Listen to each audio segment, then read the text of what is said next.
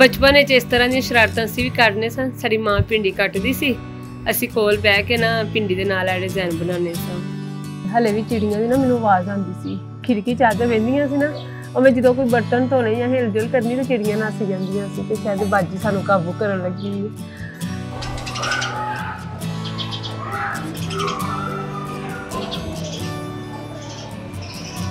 ਕਦੀ ਕਦੀ ਨਾ ਇੰਜ ਸਜਾ ਦੇ ਨਾਲ ਬਹਿ ਕੇ ਖਾਣ ਪੀਣ ਦਾ ਆਪਣਾ ਹੀ ਮਜ਼ਾ ਬਿਸਮਿਲ੍ਲਾਹਿਰਰਹਿਮਾਨਿਰਰਹੀਮ, ਅਸਲਾਮ ਅਲੈਕੁਮ। ਹਾਂਜੀ, ਕੀ ਹਾਲ ਹੈ ਤੁਹਾਡੇ ਸਾਰਿਆਂ ਦੇ? ਤਬੀਸ਼ਤਾਂ, ਸਿਹਤਾਂ, ਨਿਸ਼ਤਾਂ ਸਭ ਠੀਕ ਠਾਕ ਹੈ?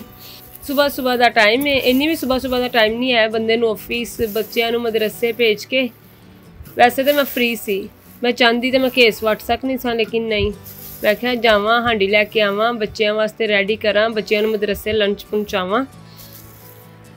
ਕਿਉਂਕਿ ਮੈਨੂੰ ਅੱਛਾ ਲੱਗਦਾ ਮੈਂ ਆਪਣੇ ਬੱਚਿਆਂ ਨੂੰ ਘਰ ਦਾ ਪੱਕਿਆ ਲੰਚ ਨਾ ਉਹਨਾਂ ਤੱਕ ਫਰੈਸ਼ ਪਹੁੰਚਾਵਾਂ, ਤਾਜ਼ਾ ਗਰਮ-ਗਰਮ ਖਾਣਾ ਪਹੁੰਚਾਵਾਂ। ਤੇ ਬਸ ਫਿਰ ਮੈਂ ਲੈ ਕੇ ਆਈ ਹਾਂ ਪਿੰਡੀ ਤੇ ਕਰੇਲੇ। ਮੈਂ ਕਿਹਾ ਕਰੇਲੇ ਜ਼ਰਾ ਲੇਟ ਪੱਕਣ ਦੇ ਪਿੰਡੀ ਪਕਾਈਏ ਪਹਿਲੇ। ਅੱਜ ਫਿਰ ਪਿੰਡੀ ਪਕਾਵਾਂਗੇ। 10:17 ਮਿੰਟ ਹੋ ਗਏ ਨੇ। ਕੰਮ ਸਟਾਰਟ ਨਾਓ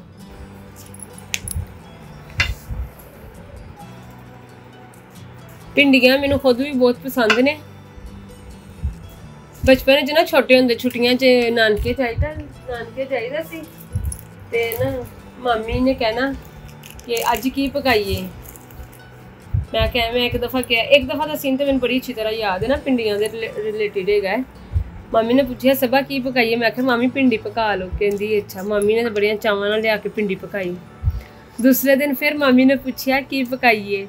ਮੈਂ ਕਿਹਾ, ਮੰਮੀ, ਅੱਜ ਫਿਰ ਪਿੰਡੀ ਪਕਾ ਲਓ। ਮੰਮੀ ਨੇ ਚਲੋ ਫਿਰ ਭਿੰਡੀ ਪਕਾ ਲਈ, ਨਾਲ ਵੀ ਤੰਦੂਰੀ ਤੋਂ ਰੋਟੀਆਂ ਲਾ ਲਈਆਂ। ਅਚਾਰ ਵਗੈਰਾ ਰੱਖ ਲਿਆ। ਤੀਸਰੇ ਦਿਨ ਮੰਮੀ ਕਹਿੰਦੀ, ਕੀ ਪਕਾਈਏ? ਮੈਂ ਕਿਹਾ, ਮੰਮੀ, ਭਿੰਡੀ 'ਚ ਨਾ ਭਿੰਡੀ ਪਕਾ ਲਓ। ਮੰਮੀ ਨੇ ਨਹੀਂ, ਰੋਜ਼ ਤੇ ਨਹੀਂ ਨਾ ਭਿੰਡੀ ਵਾਵਾ ਲੱਗਦੀ। ਫਿਰ ਮੰਮੀ ਨੇ ਲਿਆ ਕੇ ਭਿੰਡੀ 'ਚ ਚਿਕਨ ਪਾਇਆ, ਨਾਲ ਅਚਾਰ, ਨਾਲ ਲੱਸੀ, ਨਾਲ ਤੰਦੂਰੀ ਦੀਆਂ ਰੋਟੀਆਂ। ਮਜ਼ਾ ਆ ਗਿਆ। ਤਿੰਨ ਦਿਨ ਮੈਂ ਲਗਾਤਾਰ ਭਿੰਡੀ ਖਾਧੀ। ਮੈਨੂੰ ਲੱਗਾ ਚੌਥੇ ਦਿਨ ਜਾਂ ਤੇ ਮੰਮੀ ਨੇ ਪੁੱਛਿਆ ਹੀ ਨਹੀਂ ਹੋਣਾ ਕਿ ਕੁੜੀ ਦੇ ਕੰਮ ਲਈ ਇਹਨੇ ਰੋਜ਼ ਹੀ ਭਿੰਡੀ ਕਹਿਣਾ ਹੈ। ਤੇ ਜਾਂ ਫਿਰ ਮੇਰੇ ਜ਼ਿਹਨ ਵਿੱਚ ਨਹੀਂ ਹੋਣਾ, ਠੀਕ ਹੈ ਨਾ? ਤਿੰਨ ਦਿਨਾਂ ਦੀ ਸਟੋਰੀ ਤਾਂ ਮੈਨੂੰ ਬਹੁਤ ਅੱਛੀ ਤਰ੍ਹਾਂ ਯਾਦ ਹੈ ਇਹ ਇਸੇ ਤਰ੍ਹਾਂ ਹੀ ਮੇਰੇ ਬੱਚਿਆਂ ਨੂੰ ਵੀ ਬਹੁਤ ਪਸੰਦ ਹੈ ਹਾਂ, ਮੇਰੇ ਬੱਚਿਆਂ ਨੂੰ ਵੀ ਬਹੁਤ ਪਸੰਦ ਹੈ ਕੁਝ ਦਿਨ ਪਹਿਲੇ ਨਾ, ਮੈਂ ਨਾ ਪਿੰਡੀ ਪਕਾਈ ਤੇ ਮੈਂ ਥੋੜੀ ਜਿਹੀ ਨਾ ਆਪਣੇ ਭਾਈ ਵਾਸਤੇ ਭੇਜੀ। ਉਸ ਤੋਂ ਬਾਅਦ ਭਾਈ ਸਾਹਿਬ ਨੇ ਕਿਹਾ ਕਿ ਸਭਾ, ਸਹਿਬਾ ਸਾਨੂੰ ਪਿੰਡੀ ਪਕਾ ਕੇ ਦਿਵੋ, ਤੁਹਾਡੀ ਪਿੰਡੀ ਬਹੁਤ ਅੱਛੀ ਪੱਕੀ ਸੀ। ਅਮੀ ਨੇ ਫਿਰ ਪਿੰਡੀ ਪਿਆਜ਼ ਭੇਜੇ, ਮੈਂ ਫਿਰ ਪਕਾਈ। ਬਚਪਨ ਵਿੱਚ ਇਸ ਤਰ੍ਹਾਂ ਦੀਆਂ ਸ਼ਰਾਰਤਾਂ ਅਸੀਂ ਵੀ ਕਰਨੇ ਸਾਂ। ਸਾਡੀ ਮਾਂ ਪਿੰਡੀ ਕੱਟਦੀ ਸੀ। ਅਸੀਂ ਕੋਲ ਬਹਿ ਕੇ ਨਾ ਪਿੰਡੀ ਦੇ ਨਾਲ ਆ ਡਿਜ਼ਾਈਨ ਬਣਾਉਣੇ ਸਾਂ। ਮੇਰੇ ਵੀ ਇਧਰ ਬਣਾਓ ਇਹ ਲੋ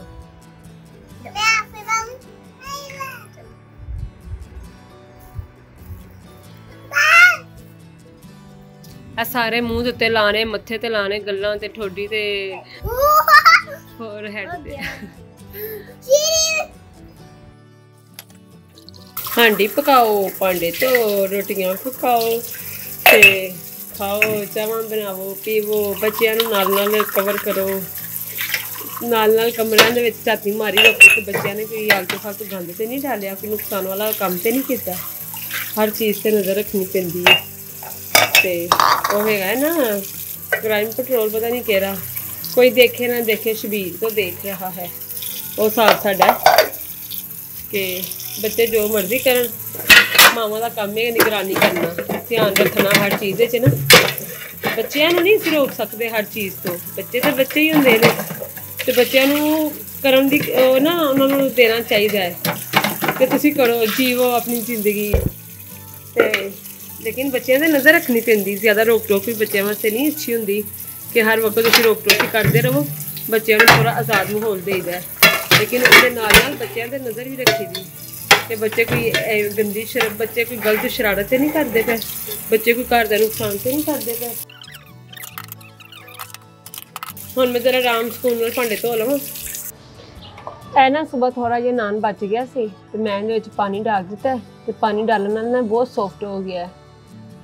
ਤੇ ਇਹ ਉਹ ਰੋਟੀਆਂ ਹੁੰਦੀਆਂ ਨੇ ਜਿਹੜੀਆਂ ਤੁਸੀਂ ਸੁੱਕੇ, ਮਤਲਬ ਕਿ ਨਾ ਛਾਨਪੁਰੇ ਦੇ ਵਿੱਚ ਵੇਚਦੇ ਜੀ, ਜਿਹੜੀਆਂ ਤੁਹਾਡੇ ਵਾਸਤੇ ਵੇਸਟ ਹੋ ਜਾਂਦੀਆਂ ਨੇ। ਅਗਰ ਇਹਨਾਂ ਨੂੰ ਛੋਟੇ ਛੋਟੇ ਪੀਸ ਕਰਕੇ ਪਾਣੀ 'ਚ ਭਿਉਂ ਕੇ ਤੁਸੀਂ ਆਪਣੀ ਛੱਤ ਤੇ, ਦਰਵਾਜ਼ੇ ਦੇ ਬਾਹਰ ਜਾਂ ਫਿਰ ਇੰਜ ਖਿੜਕੀ ਦੇ ਬਾਹਰ ਡਾਲ ਦੋ ਨਾ, ਤੇ ਜਿਹੜੇ ਬੇਜ਼ੁਬਾਨ ਜਾਨਵਰ ਹੁੰਦੇ ਨੇ ਨਾ, ਇਹ ਖਾ ਲੈਂਦੇ ਨੇ।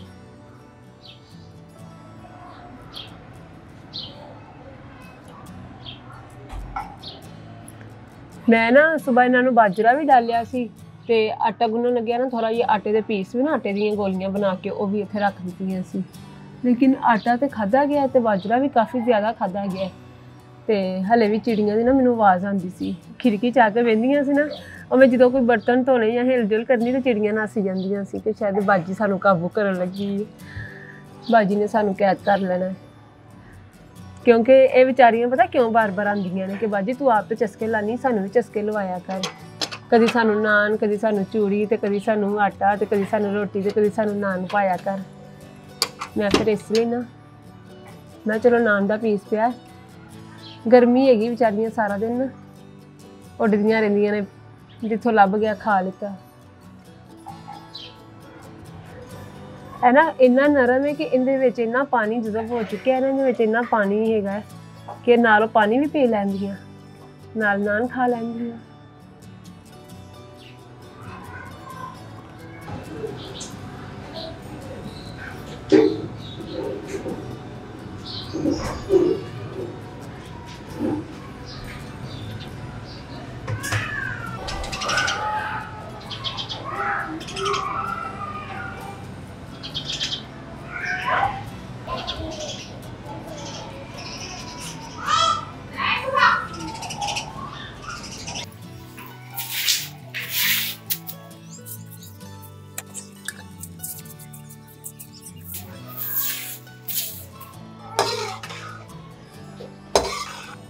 ਸਾਲਨ ਪੱਕ ਗਿਆ ਹੈ, ਰੋਟੀਆਂ ਪਕਾ ਕੇ ਮੈਂ ਆਪਣੇ ਬੱਚਿਆਂ ਦਾ ਲੰਚ ਭੇਜ ਦਿੱਤਾ ਹੈ। ਹੁਣ ਮੇਰਾ ਆਪਣਾ ਜੀ ਘਟਦਾ ਪਿਆ ਕਿਉਂਕਿ ਕਾਫੀ ਦੇਰ ਮੈਂ ਕਿਚਨ ਨੂੰ ਟਾਈਮ ਦਿੱਤਾ ਹੈ।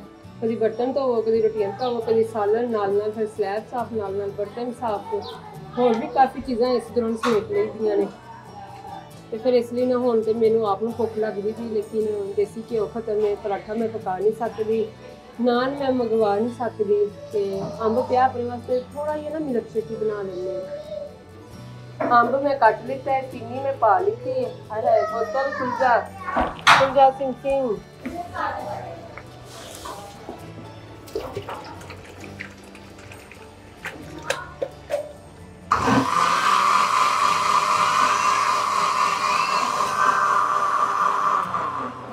ਜਿਹੜੀ ਚੀਜ਼ ਦਾ ਸਾਨੂੰ ਡਰ ਸੀ, ਉਹੀ ਹੋਇਆ। ਦੁੱਧ ਜ਼ਿਆਦਾ ਪੈ ਗਿਆ ਤੇ ਅੰਬਾਂ ਦਾ ਕਲਰ ਫਿੱਕਾ।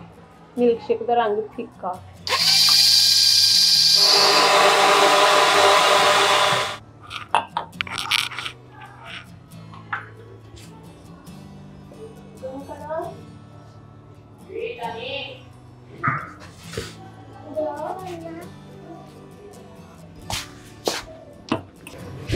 ਸਜਾਵਟ ਵਾਸਤੇ ਨਾ ਥੋੜੇ ਜਿਹੇ ਮੈਂਗੋ ਪਏ ਸੀ, ਉਹ ਮੈਂਗੋ ਕਿੰਨੀ ਪਈਆਂ ਬਦਾਮ ਵਗੈਰਾ। ਡਰ ਲੱਗਦਾ ਵੀ ਕਿਧਰੇ ਮਿਰਚੇ ਕਿ ਬਾਹਰ ਆਈਏ ਕਦੀ ਕਦੀ ਨੇ ਇੰਜ ਸਜਾ ਸਜੂ ਕੇ ਸਕੂਨ ਦੇ ਨਾਲ ਬਹਿ ਕੇ ਖਾਣ ਪੀਣ ਦਾ ਆਪਣਾ ਹੀ ਮਜ਼ਾ ਫਲ ਤੇ ਜੂਸ ਮੈਨੂੰ ਬਹੁਤ ਹੀ ਪਸੰਦ ਨੇ। ਤੇ ਸਕੂਨ ਨਾਲ ਬਹਿ ਕੇ ਖਾਣ ਦਾ ਮੈਨੂੰ ਬਹੁਤ ਮਜ਼ਾ ਆਉਂਦਾ ਕਿ ਮੈਂ ਜੋ ਵੀ ਖਾਵਾਂ ਮੈਂ ਸਕੂਨ ਨਾਲ ਇਕੱਲੇ ਨਾਲ ਬੈਠ ਕੇ ਖਾਵਾਂ। ਆ ਵੇਖੋ ਮੇਰੀਆਂ ਚਿੜੀਆਂ ਵੀ ਖਾਣ ਆਈਆਂ। ਕਿੱਧਰ ਗਈਆਂ? ਉਹ ਦਰ ਜਾ ਕੇ ਆਈਆਂ ਵਿਚਾਰੀਆਂ ਇੱਥੇ ਸੀ। ਉਹ ਮੇਰੀ ਵੀਡੀਓ ਵਗੈਰਾ ਵੇਖ ਕੇ ਉਹਨਾਂ ਨੱਸ ਰਹੀਆਂ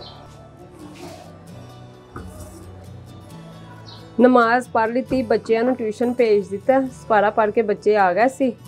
ਮੈਂ ਕਿਹਾ ਦੋ ਘੁੱਟ ਚਾਹ ਦੇ ਬਣਾ ਲਈਏ। ਤੇ ਨਾਲੇ ਰੋਟੀ ਖਾ ਲਈਏ। ਭੁੱਖ ਲੱਗੀ ਸੀ ਖੋ ਪਿੰਦੀ ਪਈ ਸੀ।